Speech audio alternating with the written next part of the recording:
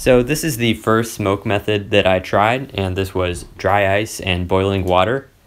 As you can see, it did fog pretty well, um, but it only did it for a few second intervals, so it was hard to uh, be ready with the camera um, when I was trying to take stills, and it, it didn't really show up that well. So I think it was a meaningful test, um, and this was just a preliminary test, as you can see. Uh, I can't change the AOA inside there yet.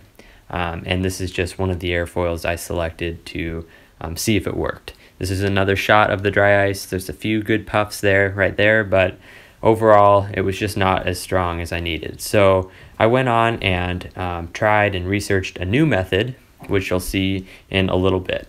Now here is the angle of attack stand that I created.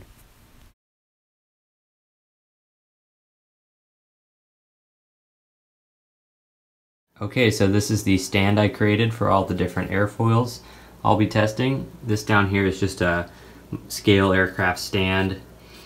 Um, and then this is a little linkage I created with a pin that locks everything in place and allows it to freely move its angle of attack around. Uh, that pin will be cut down in the future.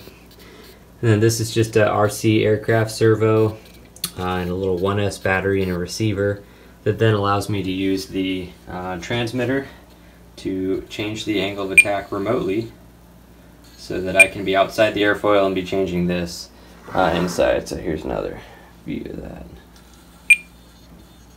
So yeah, that, that's going to work well, I think. And uh, I'll try it out inside the tunnel. Okay, so this is kind of the final setup of the wind tunnel. I've got the transmitter right here. And one of the first airfoils is inside the tunnel and it can um, move around here with the system I've created. So when I uh, pitch up on the transmitter, angle of attack is lowered and increased. So uh, then you see this straw here. This comes back to the new smoke system I've created. So um, here's the straw and we follow the line down here. This is the smoke generator. So inside here is a little tin can, it's right on the bottom there. And it has um, some glycerin and water mix, mixture in that. And then uh, we've got a coil in there. You can kind of see the coil. A bit hard to see actually. Um, but inside the coil, here you can see it, there's a, a fiberglass wick and that has the glycerin and water mixture soaked on it and then the coil is attached outside here to these leads, which then go to a car battery.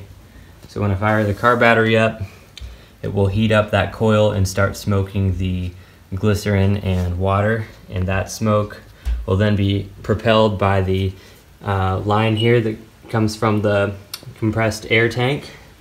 And it shoots that uh, smoke through this hole and like I said, back out and into the tunnel. And then we've got the fan here to blow some air through the tunnel as well. So uh, in the next few clips, I'll probably show some uh, videos of the wing moving in the smoke. So you can see here in this video, the smoke that the glycerin and water is creating is much more prominent and it's a pretty constant flow. You can see the stall angle right there. That's about 17 degrees. Um, and I use that protractor right there, as you can see, um, to help me uh, measure the angle of attack. And it's a little bit tough to see there because the field of view is obscuring what angle it actually is at, but I've added a little needle to the side of the wing that helps me estimate the angle um, better. So the angle of attack stand that I made is working pretty well here, and I was able to get some really nice pictures, um, which I'll show here in the uh, next clip. Um, and uh, it's a lot easier to kind of dissect the information that this visual representation is giving me.